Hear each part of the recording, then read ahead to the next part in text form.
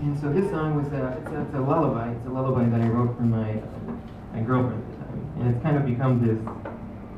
I like to think of it as this kind of homage to young love, whatever that means. And, uh, you know, just that that first six months to a year when you meet someone that you vibe with, and you know, late night phone calls, et cetera, et cetera. And you know, ideally, hopefully, we move on to deeper forms of love, but there's still something special about. That honeymoon. It's a post-honeymoon. the post honeymoon. It's after the honeymoon, it's over.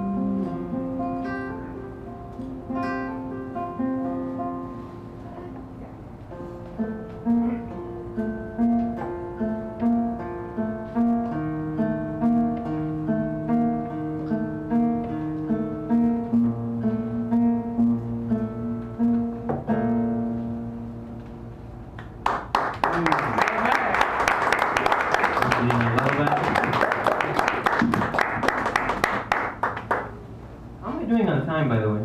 Oh, you're fine. You, you, you've only done 15 minutes. You got 15 to go.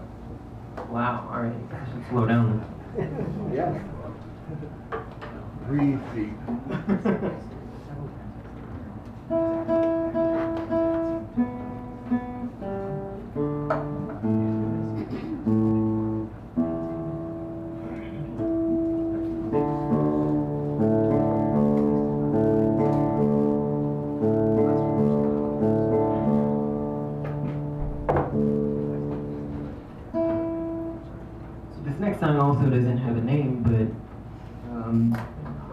it's about this notion of a joyful complexity.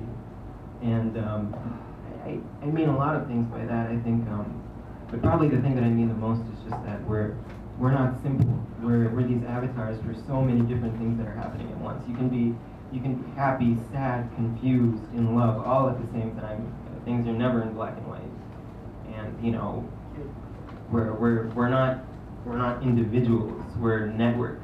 Um, you know, after after I leave, there might be a part of me and all of you, and you know, you might channel that when you talk to someone else, and vice versa.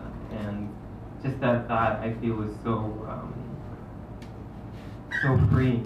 You know, you have so much freedom when you when you start to think it that way, uh, that you're not bound to any any one kind of definition that someone thinks of you, um, think, thinks of you as. So I'm going to start.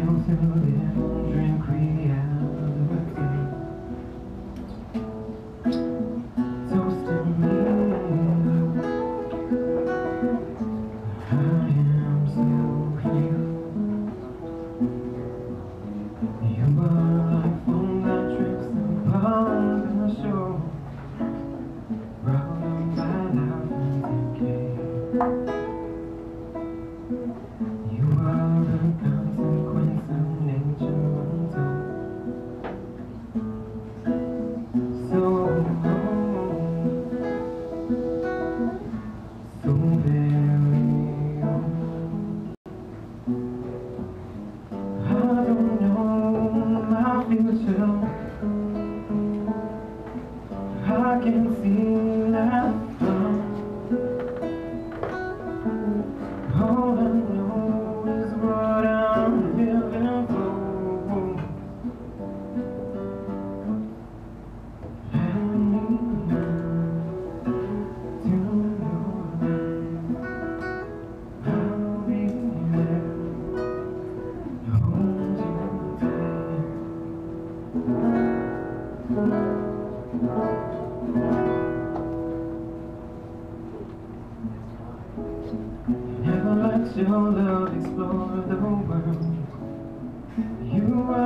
Jaded.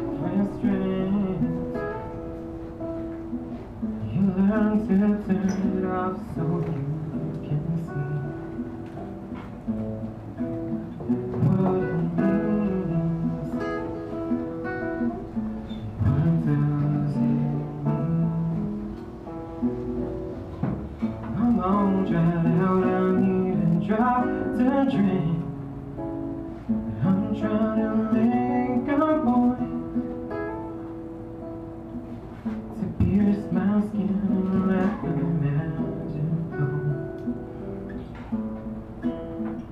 go.